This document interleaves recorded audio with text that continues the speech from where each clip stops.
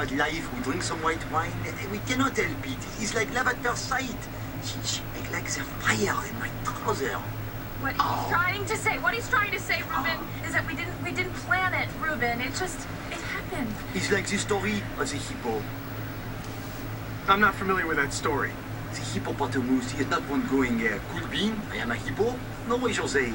So he tried to paint the stripe on himself to be like the, uh, the zebra, but he fooled no one. Uh, then he tried to put this spot on his skin to be like the leopard, but everyone know he is a hippo.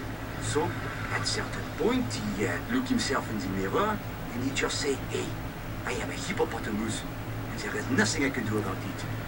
And as soon as he accepts this, he live life happy happy as a hippo. You understand?